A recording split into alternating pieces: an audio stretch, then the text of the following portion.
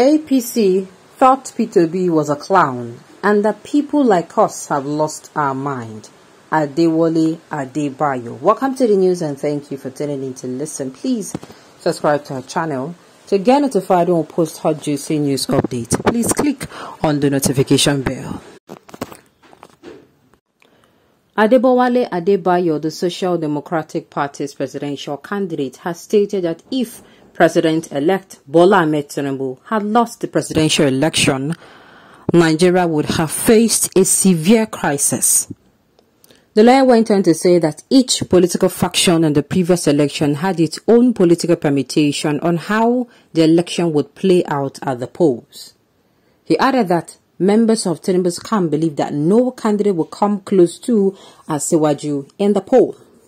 He asserted that the election results continue to astound people who believe Asiwaju should have won with more than 8 million votes. People who are dissatisfied with the presidential election, he claims, have realized that they are not as popular as they thought. I am not satisfied with the outcome of the 2023 elections for reasons I stated before the polls.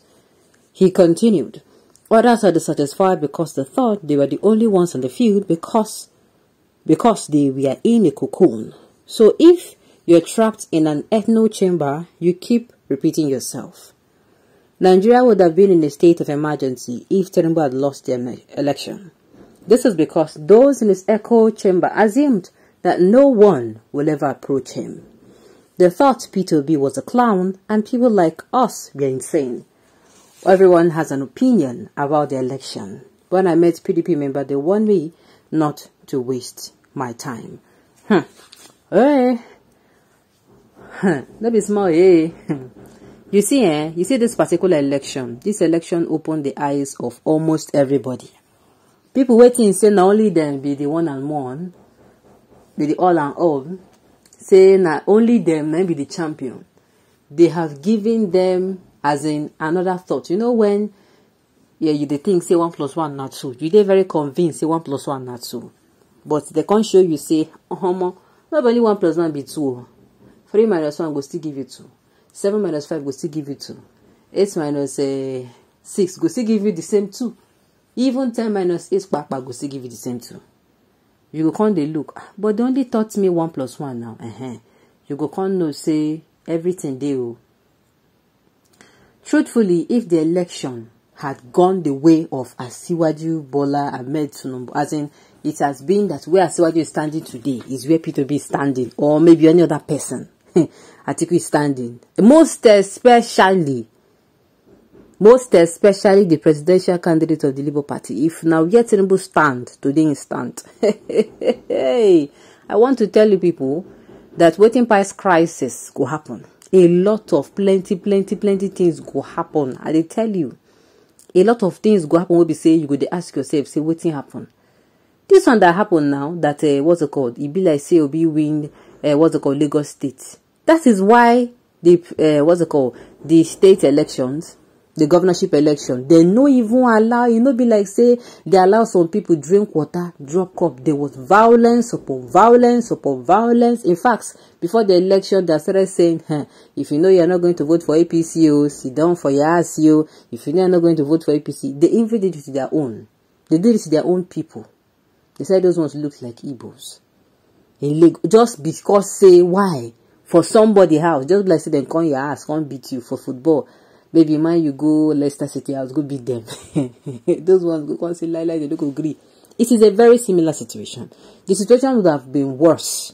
I'm telling you. That is why when APC they are coming out saying, eh, they are so desperate. They are like, eh, I mean, the presidential candidate of um, Labour Party, he stood this one like, what is this? What are these ones saying? The same thing, the same thing that APC does. SPT desperation is over the moon. In fact, I started noticing APC's desperation before the elections. And I was telling us, I don't understand why people be coming out. And they have not done election and they are telling us that they will win. I beg, they don't write the results somewhere. You know, I remember when they talk this thing. I still don't understand what's in the sub for APC's camp. They're not even saying that people vote for them. They're not asking anybody to vote for them. They are saying they would win. I don't understand this. I understand that yes, they good make person they optimistic, but this optimistic is not just optimistic. It is giving something else. It's not giving optimism. I'm telling you. Truthfully, I am telling you. This thing where APC they dish out to other parties, most especially to the presidential candidate of the Labour Party, because I will always say, just be like saying, I them carry for mouth. If then dish out to them, they will not be able to take it.